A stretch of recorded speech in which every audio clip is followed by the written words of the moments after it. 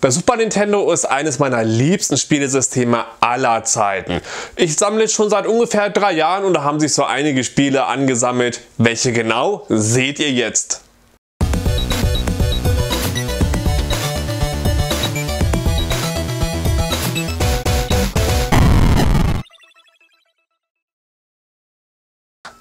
Willkommen zu dem Video zu meiner Super Nintendo Sammlung. Ich habe jetzt mittlerweile so ungefähr 75 Spiele, ich glaube ein, zwei sind es mehr, zusammengesammelt und sammle seit so ungefähr drei Jahren. Grundsätzlich zu meiner Sammlungsweise. Ich gucke mal gerne so Spiele und kaufe mir die blind einfach nach dem Motiv oder nach dem Titel, weil der mich neugierig gemacht hat. Und natürlich für Spiele, die ich damals schon gekannt habe und gerne spielen möchte nochmal. Bei mir liegt der Fokus eher darauf, nur das Modul zu haben. Also ich bin kein OVP-Sammler oder ähnliches. Und der Zustand ist mir, naja, sage ich mal, relativ egal. Also natürlich nicht komplett. Also das Cover sollte schon einigermaßen ansehnlich aussehen. Aber ob das Cartridge jetzt so ein bisschen vergilbt ist oder ähnliches, ist mir persönlich nicht ganz so wichtig. Bei mir kommt es hauptsächlich auf das Spielen an und nicht um möglichst tolle Zustand zu haben.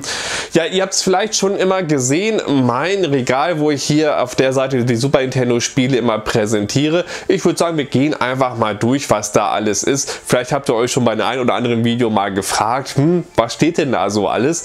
Wir gehen jetzt alles zusammen durch und ich würde sagen, wir fangen gleich mit den Highlights meiner Sammlung an, beziehungsweise ja nicht, nicht komplett Highlights, aber so ein bisschen schon.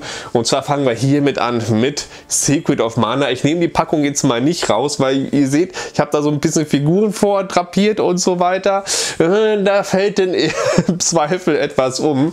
Secret of Mana, also ja, da muss ich jetzt natürlich wieder das revidieren, was ich gerade gesagt habe. Also die Big Boxen, also diese großen Super Nintendo Boxen, wo hauptsächlich die, die Rollenspiele damals ausgeliefert wurden, die sammle ich schon so etwas gerne. Also Ziel ist es von mir irgendwann mal diese Big Boxes voll zu kriegen. Die sind natürlich leider relativ teuer. Da, deswegen kommt auch nur mal ein Spiel so alle, für alle paar Jahre mal zustande. Aber Secret of Mana die musste ich unbedingt haben, die Big Box. Gehört auch eines zu den teureren, die man sich so kaufen kann. Ist, glaube ich, jetzt auch das teuerste Spiel, was in meiner Super Nintendo-Sammlung war. Oder, oder beziehungsweise ist natürlich. Ja, Super äh, Secret of Mana, fantastisches Spiel einfach. Ich habe es damals geliebt, durchgezockt und ich weiß nicht, vielleicht ist es mein Lieblings-Super Nintendo-Spiel sogar. Ich weiß nicht. Also das kämpft da sehr, sehr stark mit Zelda. Auf jeden Fall ist es eines meiner Lieblings- äh, Super Nintendo Spiele. Auf jeden Fall unter den Top 3 ist es auf jeden Fall. Sehr, sehr schönes, episches Rollenspiel. Ich glaube, die meisten von euch werden das Spiel kennen, deswegen muss ich da jetzt gar nicht so viel Worte dazu verlieren. Ist auf jeden Fall ein klasse Spiel und sollte eigentlich jedem ein Begriff sein, der mit dem Super Nintendo sich auch nur im Fantasy beschäftigt und natürlich Pflichttitel für jeden, jeden Super Nintendo Sammler. Herrliches Spiel, herrliche Musik. Ach, sehr schön. Nicht nur die Kindheitserinnerung, auch noch heute sehr gut spielbar. Kam ja auch das Remake jetzt letztes erst raus. Ne? Dann habe ich hier etwas versteckt Mystic Quest. Und zwar ist das etwas besonderes Spiel. Ihr seht es gerade eingeblendet. Die Packung, die hat, ist nicht in so gutem Zustand. Das hat eine kleine Vorgeschichte. Und zwar ist das Spiel damals original, damals meins gewesen. Also ich habe mal vor anderthalb Jahren ungefähr mal einen Ausflug auf den Dachboden meiner Eltern gemacht und da so einige Schätze wiedergefunden. Da werde ich jetzt auch noch gleich etwas drauf eingehen. Darunter war auch das Spiel. Und ja, das habe ich damals bei einem Flohmarkt gekauft und da, wo ihr diese, diese Stelle jetzt seht, da war der Flohmarktpreis von 20 D-Mark drauf. Ja, ich habe das runtergefunden und sah natürlich, das sieht nicht schön aus. Ich äh, war auch schon sehr fest der Kleber und da ich mit diesem Kleber entfernen nicht so der Experte bin, habe ich meine Mutter gefragt. Ich war ja gerade bei meinen Eltern und naja, so, so Hausfrauen, die kennen ja eigentlich immer irgendwelche Trips. Ne? Also, Mama, kannst du mir das abmachen? Ja, ja, ich krieg das hin, auf kein, ist kein Problem. Ne? Ja, ein paar Stunden später kam sie ganz stolz, ich hab's abgekriegt. Und genau so. Ich wollte es ja eigentlich, dass man noch das da drunter sehen kann, aber naja. Ja, Mütter, da habe ich mich vielleicht auch falsch ausgedrückt.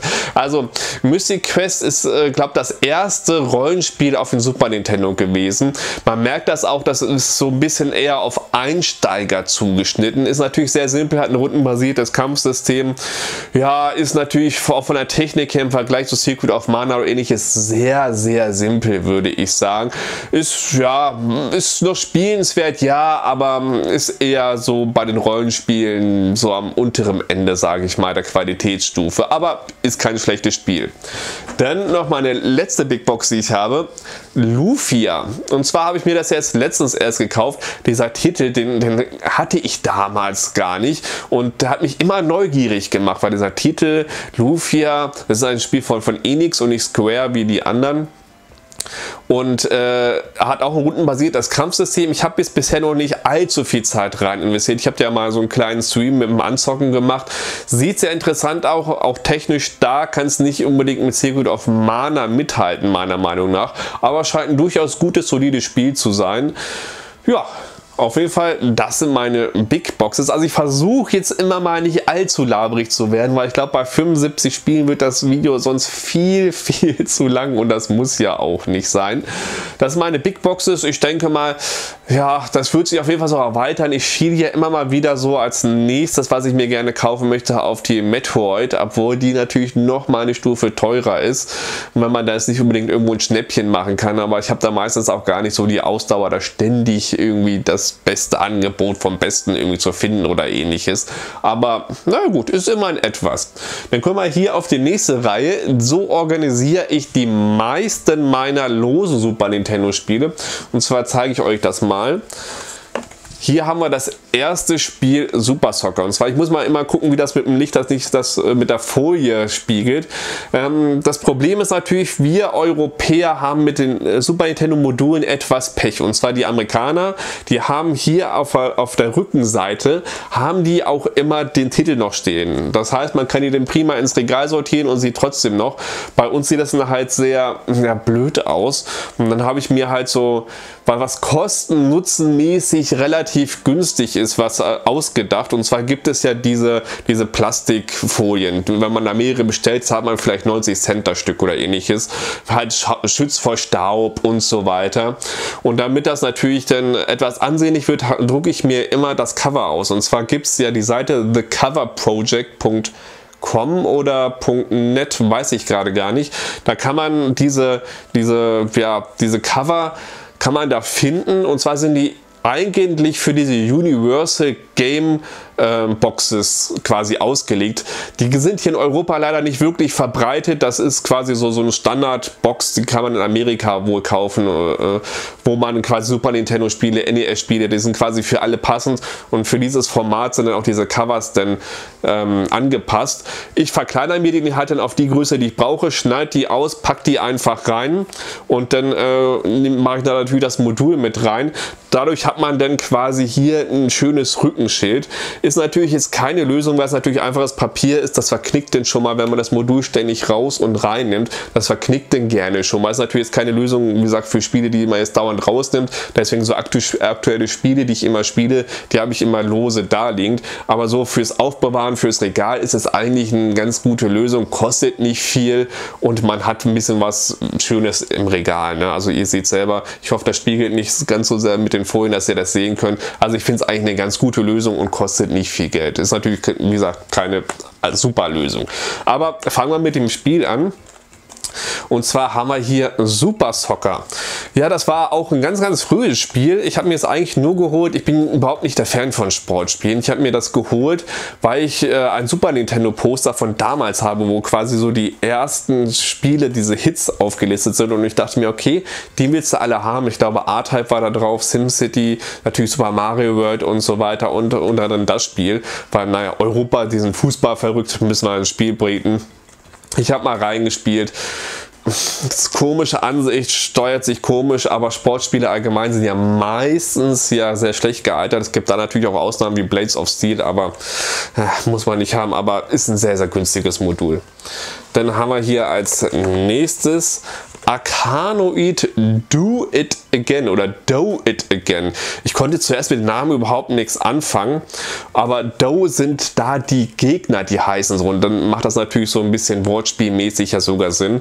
Ja, ist im Prinzip eine Variante vom alten Arcanoid-Prinzip, kann man spielen, ist jetzt aber nichts Besonderes. Also dafür finde ich, dass das Spiel relativ spät im Lebenszyklus des Super Nintendo erschienen ist, ist da die Technik doch sehr, sehr einfach. Also allgemein für die meisten Spiele, die ich euch jetzt zeige, habe ich schon einen Test. Also falls äh, ihr die angemeldeten Spielszenen euch irgendwie neugierig gemacht hat, könnt ihr gerne bei mir auf dem Kanal schauen und da mal nach einem Test gucken. Für die meisten habe ich einen.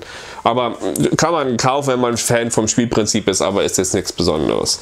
Was etwas Besonderes ist und was ich auch damals geliebt habe, ist Yoshi's Island. Und zwar Super Mario World 2 die haben da wirklich, also mir persönlich gefällt das Spiel sogar besser als der Vorgänger, was ja so mit der beste Plattformer auf dem System ist, ist sehr, sehr liebevoll gestaltet. Mir gefällt dieser Grafikstil und äh, mir gefällt auch deren Maßnahme, dass sie eben nicht einfach ein Super Mario World 2 gemacht haben, sondern einen ganz eigenen Weg mit einem ganz eigenen Stil gegangen sind. Herrliches Spiel, super Empfehlung. Für mich vielleicht sogar der beste Plattformer für das System. Da gibt es immer so ein bisschen Glaubenskrieg Manche finden den Teil besser, manche finden den ersten Teil besser. Ist natürlich Geschmackssache, aber ich liebe diesen Stil. Unter der Verwendung des FX-Chips, äh, der eigentlich so für Starving und so weiter benutzt wurde, äh, wurde das möglich gemacht auf dem System. Die holen da wirklich alles aus dem System raus. Herrliches Spiel, sage ich euch nur.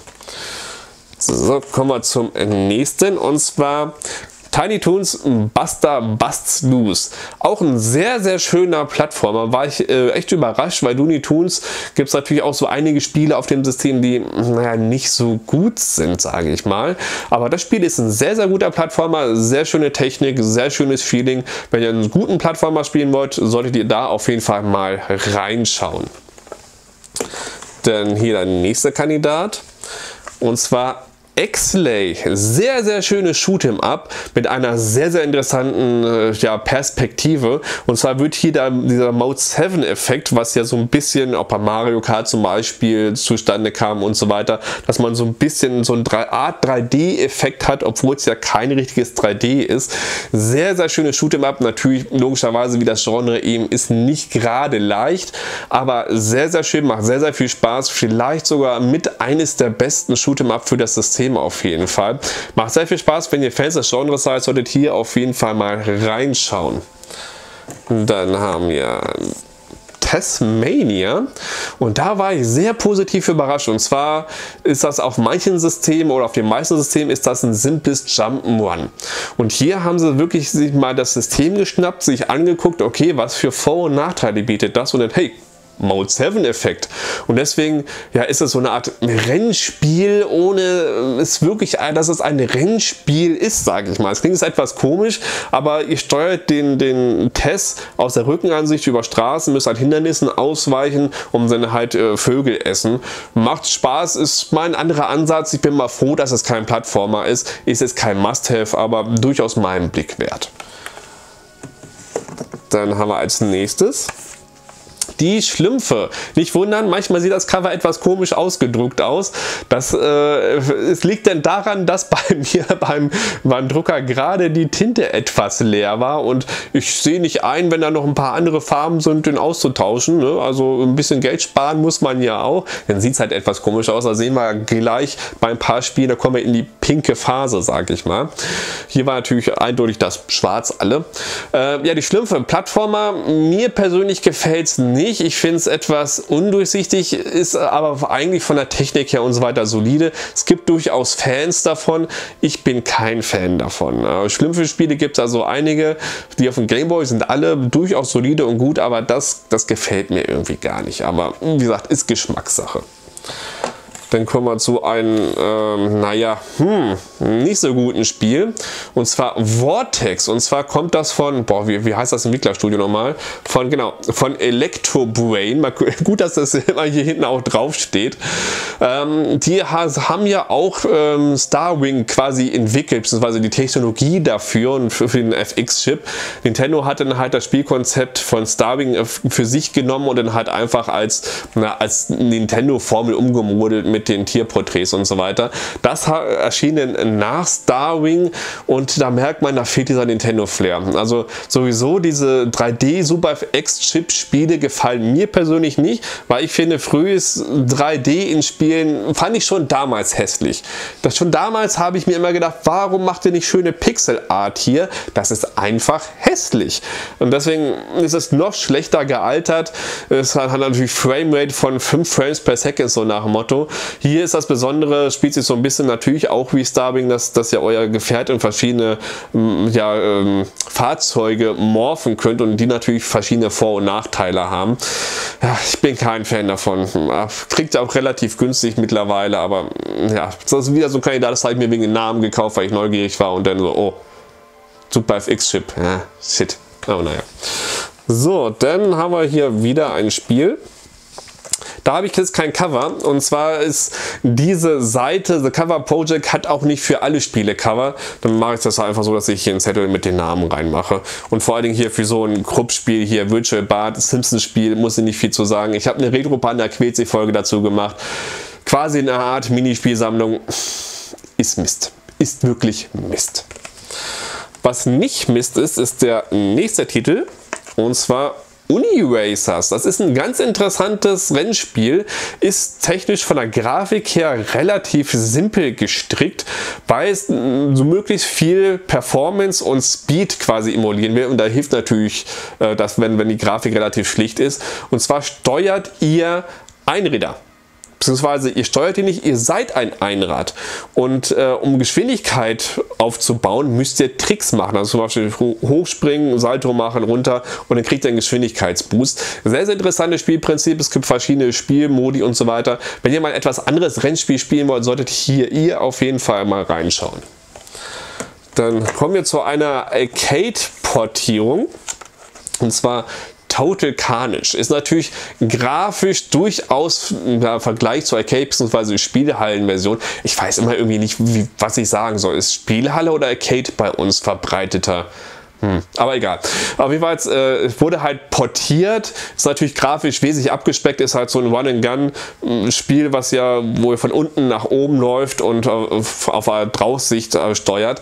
Besondere hier ist die Steuerung und zwar hatte der Arcade-Automat zwei Joysticks. Einmal links für sich bewegen und einmal rechts, um dann entsprechend die, die Feuerrichtung zu machen. Das wurde auf den Super Nintendo Controller so ein bisschen emuliert. Und zwar bewegt ihr euch natürlich normal mit Steuerkreuz, aber die Schießrichtung Richtung macht ihr mit den äh, normalen Tasten, weil die sind ja quasi ja auch wie so eine Art Kreuz angeordnet und dadurch, ja, also ist natürlich gewöhnungsbedürftig, es ist sau schwer. Fans des Genres können da mal reinschauen, sage ich immer so diplomatisch. So, was ihr euch unbedingt mal anschauen solltet, wenn ihr Puzzlespiele haben wollt, ist The Brainies. Ist sehr, sehr interessant und zwar gibt es diese Brainy-Wesen. Es ist mal eines der wenigen Spiele von Titus übrigens, das auch wirklich gut ist. Und zwar gibt es verschiedene Wesen Brainies, das sind so kleine Wuschelwesen, sage ich mal. Und äh, die müssen immer in ein Level zu einem Ausgang gelost werden, der genau dieselbe Farbe wie sie hat. Das Problem ist, sie können sich immer nur in einer geraden Linie bewegen. Das heißt, äh, müsst ihr halt mit Hindernissen immer so gucken und so weiter. Äh, klingt jetzt ein bisschen komplizierter, ist, macht, macht viel Spaß, ist mal ein schöner Ansatz, mal ein anderes Puzzlespiel. Empfiehlt sich, ist glaube ich auch nicht teuer, das Modul. Dann kommen wir zu einem nächsten Spiel, wo ich sehr positiv überrascht war. Und zwar, ne, ich muss mal gucken, wieder Reflexion. Disneys Pinocchio. Wunderschöne Technik. Gigantisch. Ich habe nicht viel erwartet. Filmlizenzversoftung halt, das kann ja nicht so gut sein. Das ist natürlich ein Plattformer, klar, aber ist wirklich wunderschön gestaltet. Die Technik ist super, Plattformer-Part ist solide, kann ich euch wirklich nur wärmstens ans Herz empfehlen. Macht da jetzt nicht einen Bogen drum, weil ihr denkt, öh, Lizenzversoftung, das ist bestimmt nichts. Ist, hat sehr, sehr viel Charme, ist ein sehr schönes Spiel auf jeden Fall.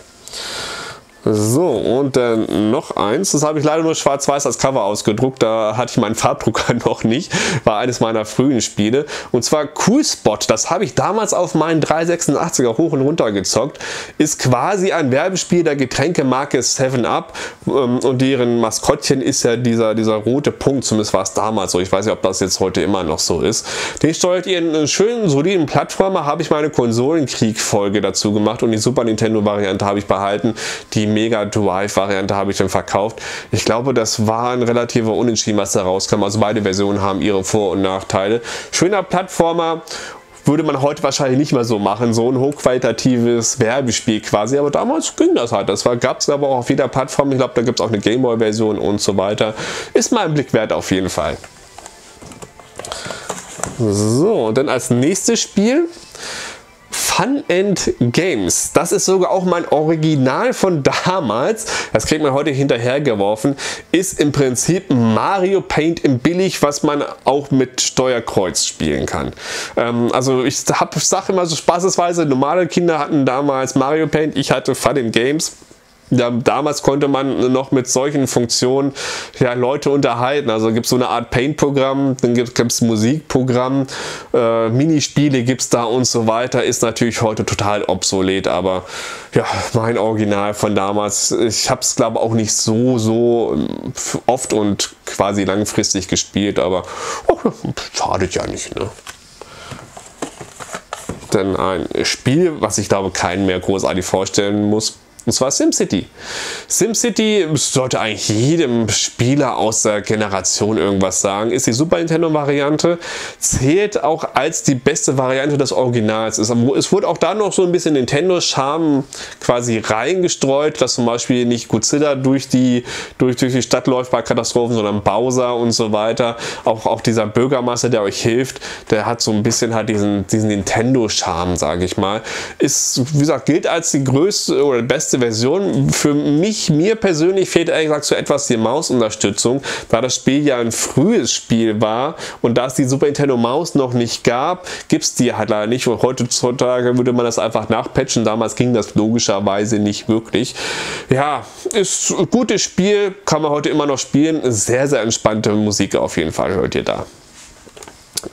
Als nächstes auch ein Flohmarktfund und zwar Air Cavalry. Sagte mir so gar nichts.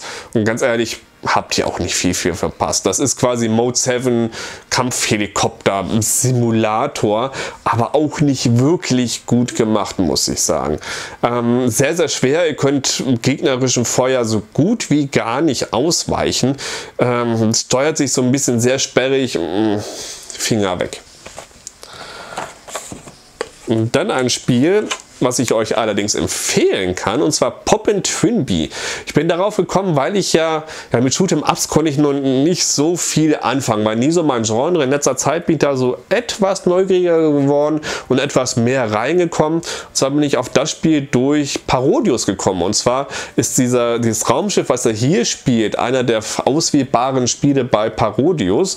Äh, ist in, in den USA gar nicht erschienen, aber ist ja fast schon so ein Q-Tim Up, nennt man das ja. Also so ein Shoot'em Up, wo alles so ein bisschen süß ist. Die Gegner sind etwas süß. Ach, der Grafikstil ist schön bunt und, und knuffig, sag ich mal. Ähm, es macht, macht sehr, sehr viel Spaß. Kann ich euch wärmstens empfehlen. Ist, glaube ich, auch nicht ganz so hart wie zum Beispiel Excel oder ähnliches. Ist auf jeden Fall mal ein Blick wert. Als nächstes, was auch einen Blick wert ist, ist Teenage Mutant Hero Turtles Tournament Fighters. Und zwar ist das im Prinzip ein Street Fighter Klon mit den Turtle Charakteren. Also Turtles gehen immer, würde ich sagen. Ne? Also warum kombiniert man das nicht mal schön? Ist natürlich, ja, Street Fighter ist natürlich neutral gesehen immer so das bisschen bessere Spiel, aber für so ein bisschen Turtle-Charme, warum nicht? Kann ich euch empfehlen, mal so ein schönes, äh, schöner Brawler, passt. Dann haben wir hier noch ein Puzzlespiel und zwar nicht wundern, das ist das amerikanische Cover. Da heißt es Kirby's Avalanche, hier heißt es Kirby's Ghost Trap. Ja, typisches, klassisches, süßes Puzzlespiel, so ein bisschen Puyo Puyo Stil, wo ihr die, diese verschiedenfarbenen Blobs habt, die ihr dann kombinieren müsst, was auch dann so etwas geht und so weiter. Macht Spaß, ist natürlich unverwüstliches Spielprinzip, was damals gut geklappt hat und heute natürlich immer noch. Ne? So, kleiner Schnitt und es geht auch sofort weiter. Und zwar mit dem nächsten Spiel Gott. Das ist von Ähm, oh Gott, mir fällt der gerade von den Bitmap Brothers. Ha, ich habe mir schon beim Aufnehmen gedacht, hm, hoffentlich vergisst du den Namen nicht. Und zwar ist das äh, Original ein Amiga-Spiel gewesen. Da sieht man auch so von dem Stil her. Sehr schöner Action-Plattformer. Ist ein bisschen natürlich gewöhnungsbedürftig, auch von der Steuerung her, von der Grafik her merkt man auch, dass es, finde ich, ursprünglich ein Amiga-Spiel war, weil da dieser typische Amiga-PC-Stil da sehr schön durchkommt. Ist natürlich Geschmackssache. Mir persönlich persönlich äh, gefällt der Stil. Schönes Spiel, auch das kein Must-Have, aber durchaus in Ordnung. Dann haben wir als nächstes ein, oh, muss ich mal gucken hier, nicht, dass ich alles kaputt mache. und zwar Super Tennis, wieder ein Tennisspiel. Ähm, ich muss was beichten, ich bin nicht gut in Tennisspielen. Ich weiß, ich kapiere das immer nicht mit dem Timing und so weiter ist nicht meine Welt. Ist auch ein sehr, sehr günstiges Modul. Auch das war, glaube ich, auf dem Super Nintendo Poster dabei und deswegen habe ich mir das geholt. Ja, ne, wenn man es mal für 3, 4 Euro sieht, kann man es mal mitnehmen. Ist natürlich allgemein äh, beim Super Nintendo, no, geht hier alles hier hinten rein. Ist natürlich immer so ein bisschen, Super Nintendo sammeln ist im Vergleich zu Game Boy äh, ein bisschen teurer auf jeden Fall. Deswegen habe ich auch mehr Game Boy Spiele als Super Nintendo Spiele. Ganz einfach, weil, man im Zweifel immer zwei Game Boy Spiele für ein Super Nintendo Spiel kaufen, äh, kaufen kann. Vor allem die guten Spiele sind teuer, obwohl sie nicht selten sind. Zum Beispiel Donkey Kong Country bezahlt man so 30, 35 Euro für ungefähr, wenn man es nicht irgendwo Schnäppchen findet. Und das waren ja nicht unbedingt seltene Spiele. Also, oder auch Super Mario World, das hatte auch gefühlt jeder, aber das ist irgendwie bei Super Nintendo irgendwie seltsam. Aber naja, gut. Komm, was ist es? Super Drop Zone ist natürlich so ein bisschen die Adaption von den Arcade-Klassiker Drop Zone. Mir persönlich gefällt es nicht. Ihr habt quasi so, ein, so, eine Art Landschaft, wo ihr dann hin und her fliegt nach links und rechts Gegner erledigen müsst, Wellen äh, ja, kaputt schießen müsst. Mein Ziel ist es nicht, ist äh, mein meine Sache ist es nicht, Gott. ähm, mein Stil ist es nicht, so wollte ich das sagen. Ähm, viel zu schwer, mag ich ehrlich gesagt überhaupt nicht. Noch ein Spiel, was ich nicht mag, man sieht so ein bisschen die Qualität, die wird immer schlechter. Und zwar Itchy und Scratchy. Typisches Simpsons-Spiel. Haben sie mal ein bisschen was anderes probiert und zwar so ein bisschen, weil Itchy und Scratchy ist ja dieser Zeichentrick im Zeichentrick quasi. Äh, war was so ein bisschen dieses, uh, Cartoons sind so brutal parodieren soll. Ja, äh, also ihr spielt den Itchy und Scratchy und gebt euch gegenseitig was auf den Deckel, läuft durch, zusammen durch Level, müsst Waffen finden und so weiter kein großer Fan. Weiß nicht, äh, das ist wirklich nichts. Was auch noch nichts ist, ist Rise of the Robots. Das ist ja schon fast berühmt berüchtigt, dass das Kacke ist. Und zwar ist das ein typischer Grafikblender. Das äh, benutzt so ein bisschen diesen vorgerenderten Stil, was zum Beispiel auch Donkey Kong Country eingeführt hat. Und es ist ein, ja, wie Street Fighter 1 und 1 Beat'em Spiel, spielt sich aber viel zu sperrig. Es mag gut aussehen. Ich weiß noch, wie ich damals in Spielemagazinen gesehen habe. Boah, die Grafik, huh, die sieht mal gar nicht mal so schlecht aus und so weiter, aber das Spiel dahinter ist wirklich Müll. Auch da habe ich die Retro Panda quält Folge zugemacht, macht einen weiten Bogen drum. Also das Spiel ist wirklich Müll. Glaubt den Leuten, die euch das sagen, es ist auch kein Geheimnis, dass das Spiel Müll ist. so, und was auch nicht so gut ist, boah, ich sehe gerade, wir sind ja gerade in so einer schlechten Phase. Das ist übrigens das, was ich angesprochen habe, aus der pinken Phase meines Druckers. Ähm, Roadrunner Death Valley. Ja, auch das Idee gut, Umsetzung kacke. Technik auch, sieht super aus, fängt den Stil der Cartoon-Serie super ein, aber die Steuerung ist hakelig, das Sprungverhalten ist komisch, also ihr müsst immer von den Coyote natürlich als der Roadrunner wegrennen. Ja, nee, also, nee. Nee, nee, nee, nee. Auch da Finger weg, bitte. Auch hier ein Spiel. Ich mag es überhaupt nicht. Und zwar Various Woods, was eigentlich eher so Toads Woods heißen müsste. Und zwar ist es ein Puzzlespiel. Ihr müsst wie immer farbige Blöcke kombinieren und dann gibt es in derselben Farbe auch Bomben, die ihr quasi mit kombinieren müsst, damit die Blöcke dann auch verschwinden. Also normales Farbkombinieren reicht hier nicht aus. Das Problem ist halt die Steuerung. Und zwar steuert ihr die Blöcke nicht direkt wie in Tetris zum Beispiel oder ähnliches, sondern ihr flitzt mit Toad unten rum und der hebt dann halt die einzelnen Blöcke auf und wirft, wirft sie irgendwo hin. Bin ich kein Fan von, ist viel zu fummelig zu steuern, macht keinen Spaß. Es gibt Fans von dem Spiel, ich mag es überhaupt nicht. Die Steuerung vermisst mir das Ganze wirklich sehr. So, jetzt kommen wir endlich mal wieder zu einem guten Spiel. Und zwar? Ja, so ist richtig rum. Mickey Mania. Herrliches Spiel, wird nicht sehr viel äh, von geredet. Herrlicher Grafikstil. Ihr reist quasi durch die Zeichentrickgeschichte von Mickey Mouse. Startet bei dem Steamboat Willy in Schwarz-Weiß und geht in, äh, über in legendäre Zeichentrickfilme mit der kleinen berühmten Maus. Grafik herrlich, sehr schöner Plattformer, kann ich jedem nur wärmstens ans Herz legen. Äh, soweit ich weiß, ist aber die Mega Drive-Version ein Tick besser, aber trotzdem trotzdem ein fantastisches Spiel. Kann ich nur jedem Plattformer-Fan wärmstens ans Herz legen. Dann kommen wir noch zu einem Plattformer. Ja, es wird hier fummelig. und zwar Adams Family. Auch das, äh, man könnte denken, äh, Lizenzgurke ist aber durchaus solide, ist auch ein Plattformer. Ja, bietet jetzt nicht sehr, sehr viel Neues, ähm, spielt nicht ganz meiner Meinung nach in der ganz hohen Plattformer-Ecke mit, wie zum Beispiel Mickey Mania, aber ist durchaus solide. Also so Plattformer-Fans können hier ruhig mal einen Blick riskieren auf jeden Fall. Dann haben wir... Noch eine weitere. Ich lege sie einfach mal oben hin, bevor ich hier komplett durcheinander komme jedes Mal.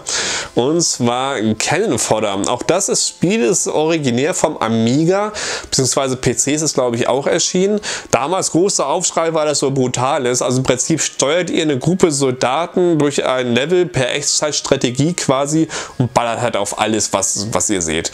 Ähm, Ballern macht ihr quasi selber manuell, also jetzt nicht wie ein Command Conquer oder sowas, dass ihr einfach den Befehl gibt, hier greift denn an, sondern ihr müsst halt die richtige Richtung packen und so weiter.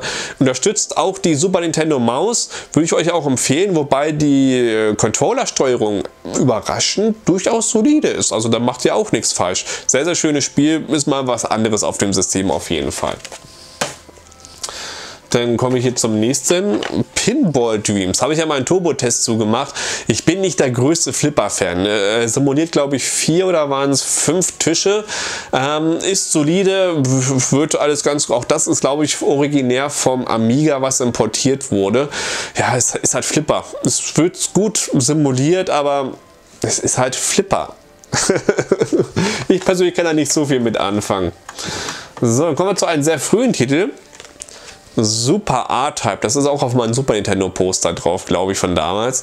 Äh, sieht sehr schön aus, ähm, aber wie alle Actionspiele leidet es arg unter Slowdowns. Also äh, wie alle frühen Actionspiele auf dem System, das meine ich. Arg unter Slowdowns ist gerade so immer noch spielbar, ist natürlich sau schwer.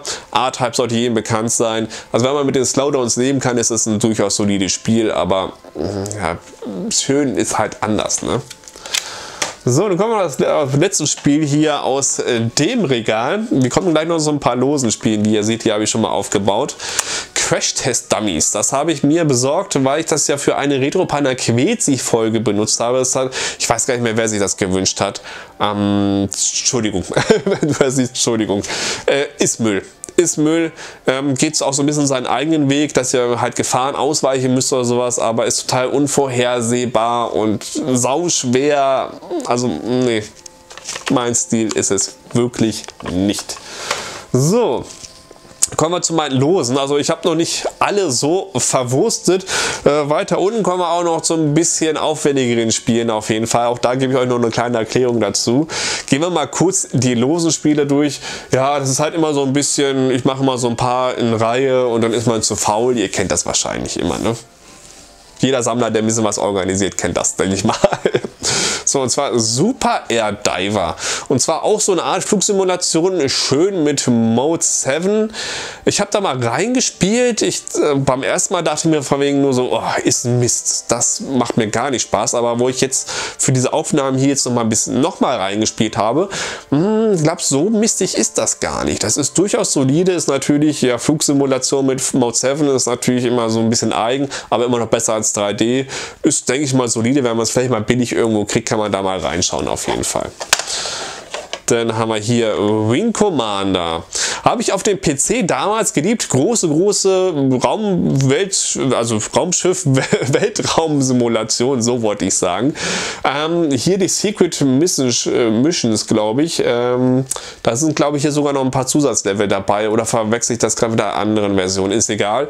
Ähm, macht mir auf dem Super Nintendo aber ehrlich gesagt nicht ganz so viel Spaß. Das, das Kampfbildschirm ist kleiner. Also ich habe es vom PC her irgendwie besser in Erinnerung. Aber ich habe jetzt, auch nicht so, so viel Zeit rein äh, investiert. Aber auf dem PC, da merkte man schon, dass da ein bisschen mehr Power dahinter war. Und dass das Super Nintendo hier ein bisschen, ja, bisschen stärker am Arbeiten ist. Also optimaler finde ich es auf dem PC auf jeden Fall. Dann haben wir hier SOS Sink or Swim.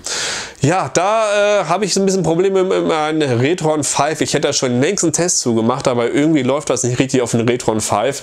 Ich weiß gar nicht, woran das liegt, obwohl ich finde, es ist ein interessanter Titel. Hat so ein bisschen Lemming-Vibe quasi. Also ihr kommt auf ein Schiff und müsst da die doofen, äh, die nur doofe Mannschaft befreien.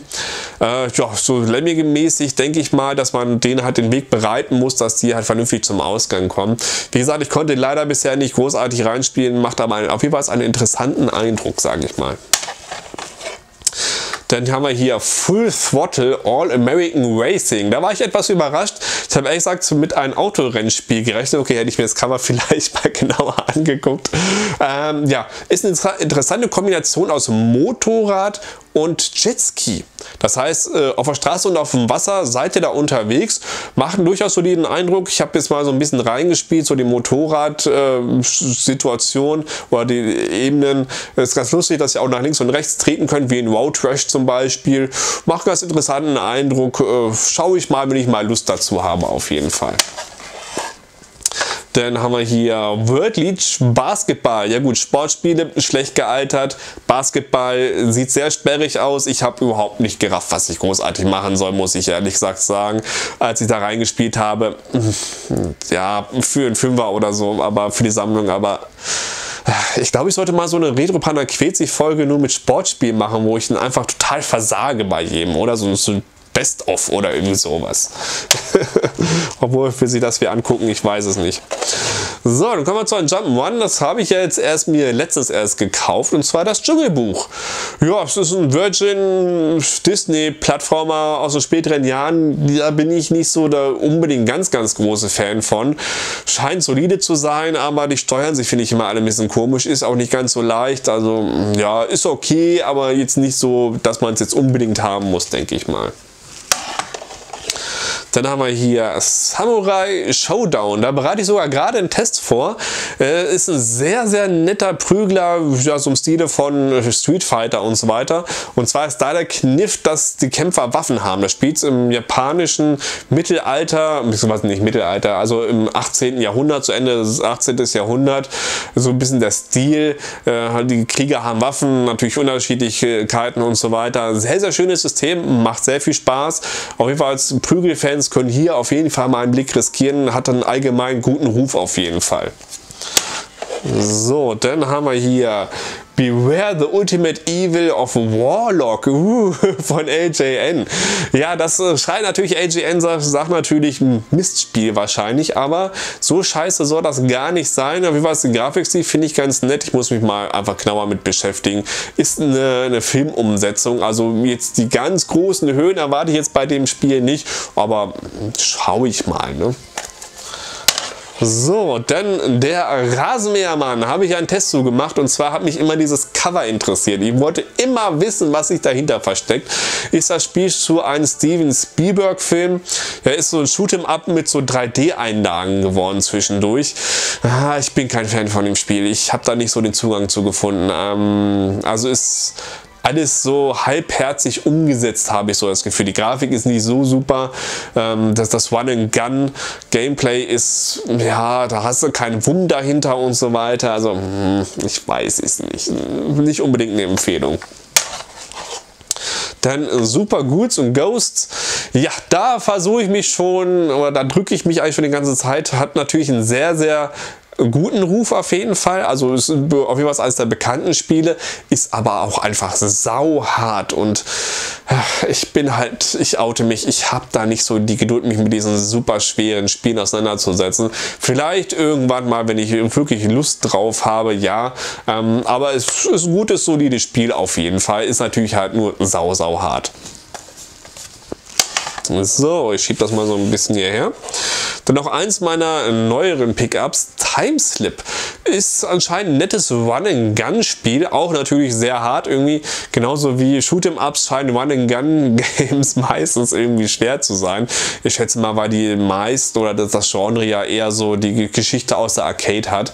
Ähm, sieht sehr interessant aus, habe ich jetzt auch da nicht die Möglichkeit gehabt, bisher jetzt großartig reinzuspielen, aber sieht durchaus solide aus. Dann haben wir hier den Kid Clown. also ähm, die Retropana Queze Folge müsste glaube in einer Woche kommen. Ich hatte irgendwie sehr stark vorproduziert, weil ich wusste, dass dieses Video halt sehr sehr viel Aufwand bedeutet und äh, da wollte ich jetzt mir eine Woche quasi komplett dafür Zeit nehmen. Ja, äh, ist ja also Grafik sieht's gut aus, aber das Gameplay ist halt sehr, sehr komisch. Ihr, es ist quasi, heute würde man sagen, hier sowas wie Temple Run und so weiter, wo ihr halt eine Strecke langlaufen müsst und Hindernissen ausweichen. Ähm, steuert sich komisch, Perspektive komisch, ähm, Gameplay komisch. Also, wenn ihr Details haben wollt, guckt in die Retro, Retro Panda Quezi Folge rein. Ich bin kein Fan. Aber ich glaube, Fans von dem Spiel gibt es eher wenige.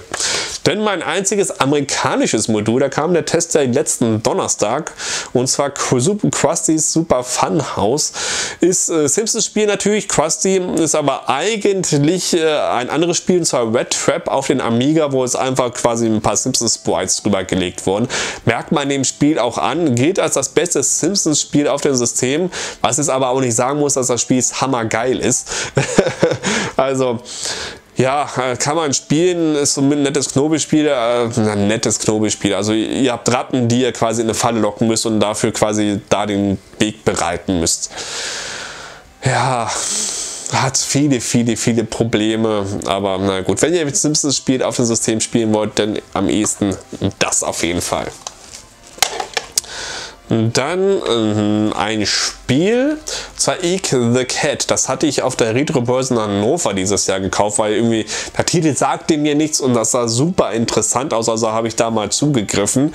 Äh, war auch nicht teuer.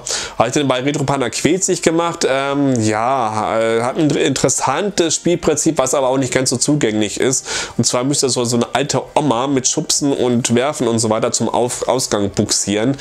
Ah, die Steuerung ist irgendwie so ein bisschen bisschen hakelig, finde ich. Die Grafik, das allgemeine Spiel sieht sehr, sehr dunkel aus. Da sieht es hier gerade selber. Sehr, sehr seltsam. Ich bin kein Fan davon. Basiert wohl auf einer Zeichentrickserie, die mir persönlich jetzt aber überhaupt nichts sagt, diese Serie. Aber na gut, also X the Cat mh, lieber Bogen drum machen. So, und dann haben wir hier noch auch aus der pinken Phase quasi Tetris Attack. Auch das wieder ein typisches Puzzlespiel von oben nach unten fallen, Blöcke durch, hier ein bisschen kombinieren. Hier ist es die Besonderheit, dass ihr so quasi einen Cursor habt und die Blöcke nur gegenseitig vertauschen könnt und dadurch halt die Sachen kombiniert. Ist nett, hat mit Tetris natürlich wenig zu tun, haben sie wahrscheinlich marketingtechnisch nur genommen, deswegen den Namen. Ja, kann man als Puzzle-Fan spielen. Ähm, auf jeden Fall besser als Mario Hoots zum Beispiel. Ist solide auf jeden Fall. So, und das waren meine losen Super Nintendo Spiele, aber ich habe natürlich auch die eine oder andere OVP. Und zwar fangen wir damit an, und zwar F-Zero. Sollte jedem bekannt sein, äh, Mode 7 Renner noch vor Mario Kart. Ja, wurde damals ziemlich gehypt, sollte so ein bisschen die Technik dieser und diese Kraft dieses neuen Systems zeigen. Ist ein sehr, sehr solides Rennspiel, macht auf jeden Fall Spaß, ist auch nicht so teuer. Ich glaube, ich habe jetzt mit der OVP, ja gut, jetzt so ein paar kleine Macken, sage ich mal, auch hier hinten. Aber wie gesagt, da bin ich jetzt nicht so der einer, der darauf achtet habe. Ich glaube, irgendwie 12, 13 Euro mit OVP bezahlt kann man nichts viel falsch machen, würde ich sagen. Ne? Denn als nächstes war eigentlich nur so ein Bundle-Kauf. Prince of Persia ist quasi ja, eine 16-Bit-Variante des alten Klassikers. Ja, ich habe ja schon bei den einen oder anderen durchscheinen lassen, ich bin kein großer Fan von Prince of Persia, aber das scheint auch jetzt keine andere oder neue Version zu sein, sondern wirklich ähm, das alte, auch vom, vom, vom Levelaufbau und so weiter, nur halt auf grafisch auf die 16-Bit-Ebene so ein bisschen gehoben. Ich bin kein Fan davon. Es sieht zwar gut aus, aber du, du, dadurch, dass er diese Steuerung in diese einzelnen Felder eingebaut ist, ist das fühlt sich immer so ein bisschen hakelig, so ein bisschen indirekt an. Also ich bin kein großer Fan von, aber naja, was man hat, das hat man. Dann habe ich hier noch Super Mario All-Stars. Ja, äh, ich glaube das erste HD-Remake der Spielegeschichte quasi, obwohl wahrscheinlich nicht das erste, aber äh, so quasi das HD-Remake-Bundle. Und zwar ist das dort, dass die alten NES Super Mario Teile plus, weil was hier nicht erschienen ist, Super Mario World The Lost Levels, das war ja in Japan Super Mario 2. Äh, hier kam der Super Mario 2, ähm, wie hieß das? Do Doki Doki Panic oder sowas ähm, raus, was einfach Reskin war, weil die, die Japaner dachten, okay, öh, das ist so schwer für die blöden Westler. Ähm, ja, auf jeden Fall sehr, sehr schönes Redesign, sollte auch auf jeden Fall Pflicht sein. Diese Spiele sind einfach unverwüstlich und dann äh, die quasi noch als äh, Super Nintendo Variante zu haben in 16-Bit-Optik, also in der Super Mario World Optik, sehr, sehr schönes Spiel auf jeden Fall. Dann haben wir hier SimCity. Ja, ich glaube, das hatten wir da. Ne? Ich habe vergessen, das quasi hier rein zu sortieren, dass ich da die Box habe. Jedenfalls, da habe ich die Box für. Das habe ich wahrscheinlich jetzt hier beide mal, weil, ähm, ich, wie ihr seht, habe ich ja auch hier die, diese Plastikdinger äh, drum zum Schutz. Und logischerweise, wenn man weiß, dass man das Spiel vielleicht ab und zu mal rausholt zum Spielen, dann packt man die nicht hier rein, weil dann würde man ja eventuell immer die Box beschädigen. Deswegen ist das da. So, und dann haben wir ein kleines Highlight und zwar meine einzigste Repro, die ich habe. Und zwar Secret of Mana 2. Das ist außerhalb von Japan damals leider nie erschienen. Das ist eine Repro mit einer schönen Box. Anleitungen war dabei, Poster war dabei, Modul natürlich mit dem deutschen Sprachpatch drauf. Das heißt, das kann man jetzt problemlos spielen. Ähm, Repro-mäßig habe ich persönlich damit da kein Problem, weil jeder weiß, dass es eine Repro ist, weil es gab das nie hier quasi zu kaufen. Äh, schon gar nicht in der deutschen Version offiziell. Deswegen habe ich damit kein Problem. Es ist halt was anderes, wenn man natürlich jetzt, jetzt irgendwelche teuren Spiele reproduziert und so tut, als ob die die Original wäre. Deswegen habe ich damit kein Problem. Und da ich ein großer Fan von Secret of Mana 1 bin, musste ich mir das holen. Ähm, weil es kostenmäßig, sagen wir mal, wie ein neues Computerspiel. 50, 60 Euro habe ich dafür bezahlt. Das ist quasi die, die Deluxe-Variante. Ist sehr, sehr schön aufgemacht, muss ich sagen. Ähm, das Spiel ist auch sehr, sehr gut, muss ich sagen. Also ich finde es schade, dass das nicht hier nach Europa gekommen ist. Sehr, sehr schönes Spiel, was vielleicht sogar noch einen Tick noch oben bei Secret of Mana draufsetzt. Technisch auf jeden Fall. Spielerische habe ich ja im Let's Play angefangen. Äh, ein bisschen auch schon was gespielt. Ist halt natürlich die Nostalgie vom ersten Teil schwer zu schlagen, aber es ist ein sehr, sehr gutes Spiel auf jeden Fall. So, meine letzte OVP, die ich habe, ist Castlevania. Gut, muss ich keinem mehr sagen. Fantastisches Spiel, fantastischer Soundtrack. Das einzige Nachteil, was ich hier habe, ähm, da war die Anleitung nicht dabei. Also, falls einer von euch die Anleitung hiervon vielleicht zum Verkauf oder Tausch da haben sollte, meldet euch einfach bei mir. Ich hätte natürlich das schon gerne komplett, aber fantastisches Spiel, muss ich nicht mehr viel zu sagen. Ne? So, das waren meine OVPs. Und dann kommen wir hier zum Endspurt. Und zwar seht ihr hier unten schon vielleicht, ich kann es leider den Kamerawinkel nicht weiter nach unten machen, weil sonst würde ihr irgendwie meinen Kopf irgendwie nur halb sehen. Und deswegen ist das ein bisschen blöd. Ähm, auf jeden Fall ein großes Highlight kann ich euch schon zeigen, ist das hier. Und zwar wie ihr seht ein Super Nintendo in einem fantastischen Zustand. Nicht vergilbt, ich habe es auch nicht nachbearbeitet. Da ich den Retron 5 benutze, ist das natürlich bei mir eher so ein Ausstellungsstück. Fantastischer Zustand und wisst ihr, warum das so ein toller Zustand ist? Das ist meins von damals. Herrlich. Ich habe es durch Zufall auf dem Dachboden gefunden, wo ich vor anderthalb Jahren mal meine Eltern war. Meine Mutter hat immer behauptet, nee, nee, das hast du alles damals verkauft lag auf dem Dachboden, fantastischer Zustand, das ist mein Original und da hängt man natürlich noch wesentlich mehr dran, also herrliches Ding auf jeden Fall. So, und dann kommen wir hier zu etwas anderen Spielen. Und zwar seht ihr schon, die Verpackung hier ist anders. Und zwar sind das die ersten Spiele, die ich in meiner Sammlung hatte. Da habe ich, als ich dann nach Tipps gesucht habe, wie man die am besten aufbewahrt, den Tipp ja, bekommen, dass die in alten VHS-Höhen aufbewahrt werden. Ähm, ich habe jetzt äh, zu, zu, dem Prinzip jetzt gewechselt, weil die VHS-Höhen, die sind mittlerweile echt schwer zu bekommen und wenn dann arschteuer. Und außerdem ist das natürlich wesentlich platzsparender aufbewahren als da. Also es passt ganz gut rein. Man kann auch entsprechend die Anleitung dazu packen. Ich habe da äh, bei Zelda habe ich jetzt zwei Anleitungen. Also einmal als ich mir das Spiel gekauft habe, dann habe ich noch eine Anleitung dann halt dann auf den Dachboden gefunden. Ja, Zelda, fantastisches Spiel. Ich habe es damals geliebt. Ähm, kann ich nur jeden ans Herz empfehlen, aber sage ich jetzt, glaube ich, jetzt keine große Überraschung, dass das gut ist, oder? Solltet ihr alle kennen. So, denn als nächstes Spiel äh, Theme Park von Bullfrog. Ich habe das damals auf einem Computer geliebt und als ich dann mal äh, festgestellt habe, dass es auch eine Super Nintendo Variante gibt, musste ich mir die natürlich besorgen. Ist natürlich im Vergleich zu der PC-Version technisch schon abgespeckt, sage ich mal. Und ähm, es fehlt einfach die Maussteuerung. Also mit, mit äh, Controller ist das schon sehr hakelig. Wenn ihr äh, bis das Spiel spielen wollt, dann besorgt euch die PC-Version nett gemeint, aber es ist, glaube ich, eher so als Cash-In gedacht. Es funktioniert, aber nicht, nicht gut. Das ist so, so, so eine Aufbausimulation. Bei SimCity geht es mit Controller, aber hier, da fehlt mir auf jeden Fall die Maus, wie man die Wege zieht und so weiter. Ist okay, aber also baut einen Freizeitpark auf, falls euch das Spiel nicht sagt. Das ist übrigens. So. Es war auch hier nicht täuschen, Illusion of Gaia. Das ist äh, der amerikanische Titel. Ist natürlich Illusion of Time. Auch mein Spiel von damals. Auch das habe ich mir, glaube ich, damals auf dem Flohmarkt geholt. Ähm, auch eins dieser Action-Rollenspiele der Zeit. Auch das ist, hat einen interessanten Ansatz und zwar könnt ihr in Dungeons so zwischen verschiedenen Kämpfern wechseln. Und ihr seid normalerweise so ein kleiner Junge, der nicht viel kann, könnt aber an einen Ritter und irgendwie so ein Energiewesen wechseln. Äh, ist interessant, auch nicht gerade einfach. Ich habe es damals gemocht. Spielten nicht ganz in der Liga von Secret of Mana mit, aber ist durchaus solide, würde ich sagen. Dann haben wir hier ein ungewöhnliches Spiel, was ich damals wirklich gesuchtet habe und zwar Pilot Wings. Ja, Pilot Wings, ähm, auch das ist entstanden eigentlich, äh, weil damit Nintendo seinen Mode 7 Effekt zeigen wollte. Ja, ist im Prinzip, ihr seid in der Flugschule und müsst verschiedene Fluglizenzen machen, also verschiedene Aufgaben im Doppeldecker fliegen. Ihr müsst Fallschirm springen, ihr habt so ein Raketen-Jetpack und so weiter. Sehr, sehr schönes Spiel, was mal ein bisschen was anderes ist auf jeden Fall. Kann ich nur jedem empfehlen, kriegt ihr auch günstig hinterhergeworfen auf jeden Fall.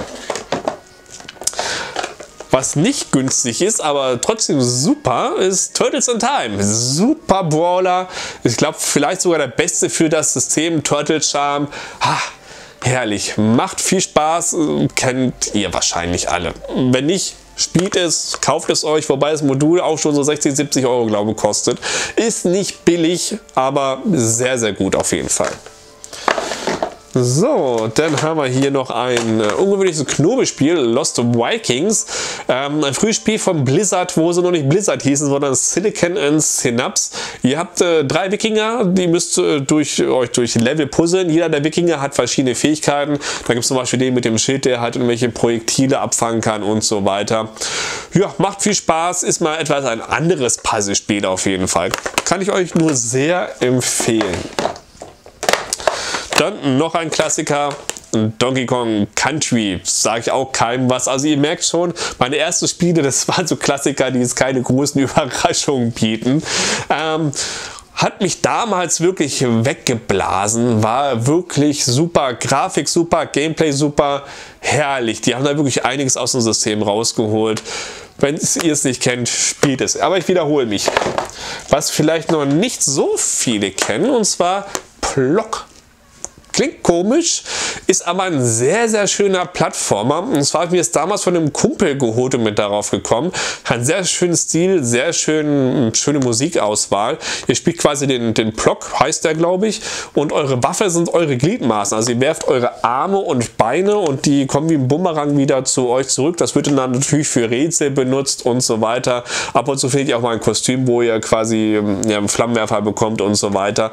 Kleiner Geheimtipp, kriegt ihr sehr günstig für 5, 6 Euro auf jeden Fall. Solltet ihr mal spielen, wenn ihr Plattformer mögt. Dann ein weiteres äh, Rollenspiel, Secret of Evermore.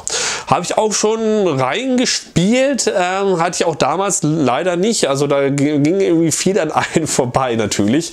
Äh, hat auch seinen ganz eigenen Stil, macht auch Spaß, hat, ähm, hoffentlich sage ich jetzt nichts falsch, hat rundenweise Kämpfe. Waren das rundenweise Kämpfe? Ich habe da gerade noch erst vorgestern reingespielt. Ich, ihr merkt, ich habe natürlich für, für, alle Spiele habe ich kleine Spielevideos gemacht, da kommt schnell was durcheinander. Ich glaube, das waren Echtzeitkämpfe, aber ihr hättet, einen Hund als Begleiter, so war das so. Äh, ist nett, auch nicht, nicht, nicht äh, gerade einfach, aber eins der goldenen Rollenspiele aus der Super Nintendo-Ära. Ne? Das Spiel hatte ich mir geholt, auch ein früher Spiel, The Magical Quest starring Mickey Mouse. Und zwar weiß ich noch, wo ich die Bilder in so Club Nintendo Magazinen gesehen habe. Es sah mal fantastisch aus, aber früher ging das an mir vorbei. Macht noch sehr, sehr viel Spaß, ist ein sehr, sehr schöner Plattformer. Lasst euch bitte nicht von Mickey Mouse irritieren, von wegen Kinderkram oder sowas. Steuert sich sehr schön, Grafik ist sehr schön, ist natürlich ein früher Titel, das sieht man natürlich so ein bisschen, dass es an diesen Feinheiten fehlt, die es später gab. Sehr, sehr schöner Titel, kann ich euch nur wärmstens ans Herz legen. Denn für alten Punch-Out-Fan war für mich natürlich Super Punch-Out natürlich ein Muss. War auch mein erster Super Nintendo-Test, den ich jemals hier auf den Kanal gemacht habe. Wobei, äh, also ich finde das äh, NES Punch-Out nach wie vor besser, muss ich sagen. Ähm, das kommt mir so etwas schwerfälliger vor, von den Bewegungen her, aber das ist natürlich nur so ein persönlicher Eindruck. Ansonsten, ja, ist baut die solide Formel, sage ich mal, weiter auf jeden Fall nicht verkehrt. Kommen wir zum nächsten. Donkey Kong Country 2 gilt bei vielen als der beste der Donkey Kong Country Trilogie. Ich hatte damals nur den ersten Teil leider. Kann ich wirklich sehr empfehlen, macht sehr, sehr viel Spaß. Den dritten Teil habe ich persönlich noch nicht gespielt, aber der zweite Teil ist auf jeden Fall wirklich noch ein Tick besser als der erste Teil, meiner Meinung nach. Vor Dingen hier, weil die neue Diddy Kong ähm, noch etwas viel besser ist. Mit diesem Zopf kann so ein bisschen fliegen und so weiter. Das bringt noch ein bisschen mehr Variation hinein. Kann ich euch wirklich nur empfehlen. So, und das Spiel zeige ich euch nur kurz. Super Mario World. Muss ich was dazu sagen? Ihr kennt es alle. Launch-Titel, super Spiel. Gilt bei vielen auch da, ne? wie bei mit dem zweiten Teil. Manche sagen, der, der Teil ist besser, manche sagen, der zweite Teil ist besser. Ich hatte es damals komischerweise nie keine Ahnung, ich dachte, es würde immer mit der Super Nintendo Konsole ausgeliefert geworden sein, aber ich hatte es irgendwie nicht. Ich schätze mal, ich hatte mal ein anderes Bundle oder irgendwie sowas. Also ich weiß es gar nicht mehr, was, was ich da genau hatte. Auf jeden Fall super Spiel, sollte jeder haben. Denn auch ein teureres Spiel Mega Man X, da zahlt man ja auch schon mittlerweile starke Preise für. Das geht hier irgendwie auf, das schließt irgendwie nicht richtig. so, jetzt haben wir auch so 60, 70 Euro mindestens für mittlerweile, glaube ich. Ähm, also zumindest damals, als ich es gekauft habe, von vor zwei Jahren. Das war so mein erster teurer Titel. Ja, Mega Man muss ich nicht sagen, diese X-Serie, die ist sehr, sehr gut geworden. Ähm, die Mega Man-Serie ging damals auf den NES an mir ein bisschen vorbei. Ich hatte äh, Wileys Rache auf den Game Boy, hatte ich sehr viel Spaß dran. Aber die X-Serie fantastisch. Also jeder Mega Man-Fan kennt es wahrscheinlich, den sage ich nichts, aber super Action-Plattformer auf jeden Fall. Auch ein Spiel, was ich damals geliebt habe. Street Fighter 2 Turbo. Ich hatte es persönlich leider nicht, aber ein Kumpel, mein Nachbar, der Carsten, hatte das. Und äh, da kann ich mich noch ganz genau dran erinnern, aber der hatte das nicht, aber der hatte einen Freund, der es hatte und dann hat er es geliehen. Dann haben wir im Garten gezeltet, hatten da so einen kleinen Röhrenfernseher, Super Nintendo und haben dann äh, im Garten im Zelt das Spiel gezockt. Ähm, ich weiß auch, wo ich ganz stolz drauf auf mich war, dass ich das Spiel durchgespielt habe. Und zwar habe ich das mit Honda durchgespielt, mit diesen, ne, Armattacke habe ich halt abused und äh, halt Kämpfe gewonnen. Schönes Spiel auf jeden Fall. Ähm, ist, glaube der beste Brawler auf dem System. Äh, wobei ich natürlich jetzt auch kein Experte in dem Genre bin. Also nimmt mein Wort jetzt nicht für komplett voll. Dann haben wir hier Super Mario Kart Pflichttitel. Ist auch glücklicherweise mein Modul von damals. Das heißt, es ist alles freigeschaltet. Also mein Bruder ist ein großer Rennspiel-Fan gewesen. Also mittlerweile hat er mit Videospielen überhaupt nichts mehr am Hut. Aber große Rennspiel mit meinem Bruder immer Schlachten geliefert, wobei wir nicht immer diesen Versus-Mode gemacht haben, sondern immer die Grand Prix gespielt haben und da alles freigeschaltet haben.